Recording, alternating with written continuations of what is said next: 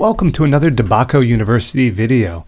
In this video lecture, we're going to be learning about identifying cannabis plant anatomy. Some you might be familiar with, like the picture here of this nice uh, female bud, but we're going to get into some of the other details that you might have seen before, but maybe not familiar with their actual terminology. So first off, if you want to learn a little bit more, I have this link to this reference article here and cited here. I will use some aspects of it in this presentation, but there's even more detail provided there.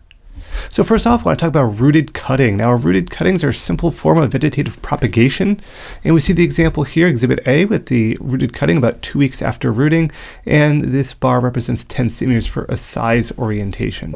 Now, other cuttings, they don't all have to look like this. This is an example here of some other rooted cuttings.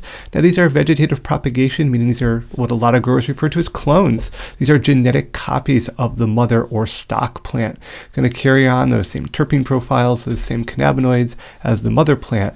And it's a great way to ensure genetic consistency. Then we also have the internode of the cannabis plant. So there's a lot of terms here. We have uh, the, the, the, shoot that kind of comes out to the side. It's called the axillary shoot. We see that located right here. Two bracts, and there's kind of the areas that kind of like little branch out.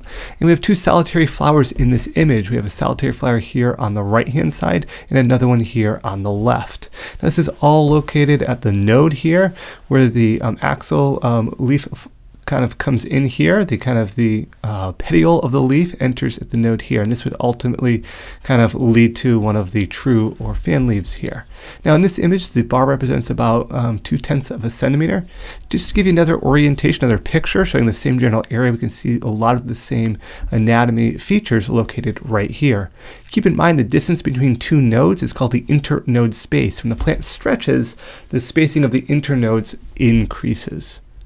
Then we get to the cotyledons, and these are the embryonic or seed leaves, which are the first two leaves to appear from a germinating seed. They tend to be more rounder in appearance. We can see them clearly evident here, uh, and it's kind of a nice little way to kind of see that little seedling come up, and that seedling can kind of go through and be those first leaves to start capturing the sun, so it can start to go through the photosynthetic process, so it can start growing exponentially. Now, after those cotyledons or seed leaves go by, we get into what we call true leaves. Now, true leaves, as you see, here's our two seed leaves or cotyledons. These would be our first, our next two leaves, these would be our true leaves. And true leaves are basically any leaves of a seed plant other than the cotyledons.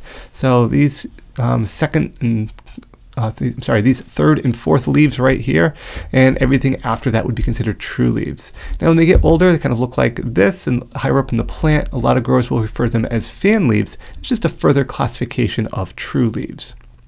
Then we get into sugar leaves.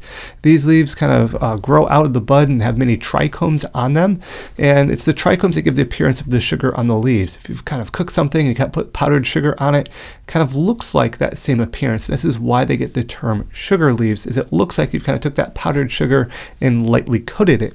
What you're actually looking at there is a series, a, a density of trichomes.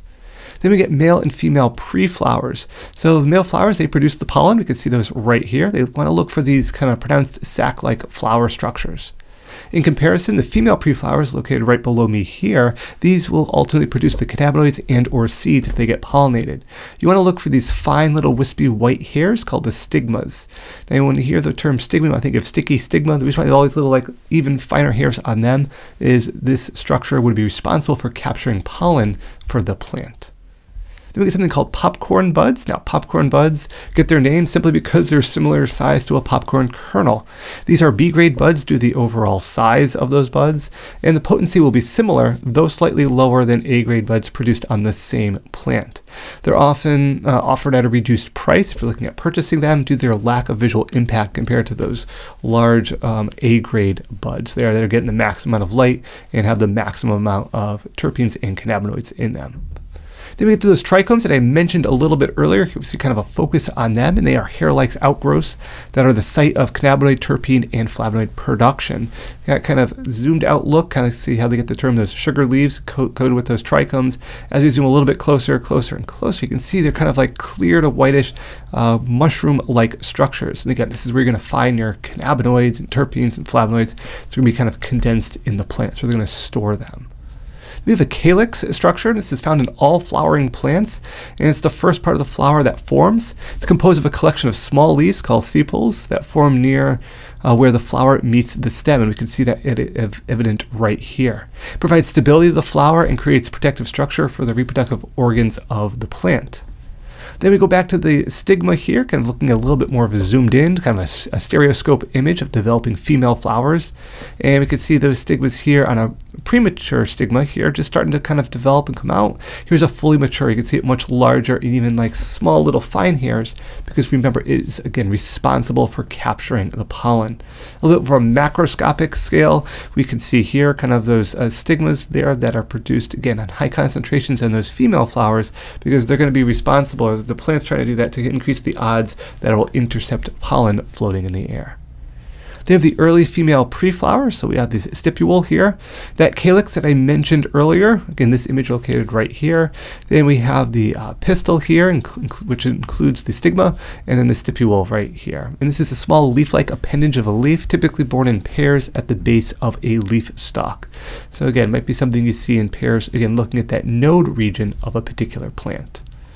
Then the apical portion of the main shoot, the apical part of the shoot, here is five days after transition to a short photoperiod. And we see that here, and again, this bar represents half a centimeter. This apical area, uh, this shortly after a short photoperiod is going to induce flowering and we can see here that this plant is female because we notice the induction of female flowers being produced. And then lastly, we have the shoot apex, and this is kind of image D and E here. They're about 11 to 12 days of growth under a short photoperiod, inducing that flowering in the plant. And that apex uh, phase determined by the first day of visible inflorescence, that first day of a visible flower. These bars represent half a centimeter. And looking here, again, that apex, that region here, particularly that top of the plant, is going to be where a lot of cell division occurs. It's a meristematic region, and it's going to be our site of that flower production. So hopefully this provided with some details about general cannabis anatomy of the plant.